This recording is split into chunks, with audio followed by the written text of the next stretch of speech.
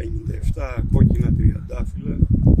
για 57 αθώες ψυχές που χάθηκαν πέρσι τέτοια μέρα σε αυτό το πρωτοφανές έγκλημα των τεμπών. Δεν θα αφήσουμε να ξεχαστεί αυτό το έγκλημα. Επαναλαμβάνουμε την υπόσχεση που δώσαμε από την πρώτη μέρα για απόδοση όλων των πολιτικών και ποινικών ευθυνών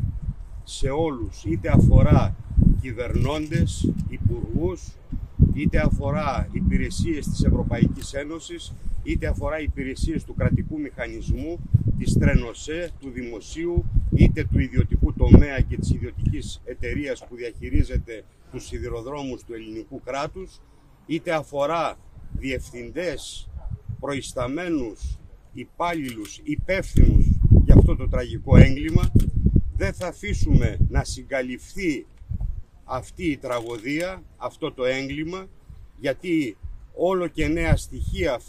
βγαίνουν στο φως της δημοσιότητας και η κυβέρνηση προσπαθεί να κλείσει άρον-άρον την εξέταση, την εξεταστική επιτροπή, τη διερεύνηση αυτού του εγκλήματος την ίδια ώρα που προκύπτουν συνεχώς νέα στοιχεία για αυτό το έγκλημα, για αυτή την τραγωδία που χάθηκαν σε αυτόν εδώ τον τόπο 57 αθώες ψυχές, τα περισσότερα παιδιά μας.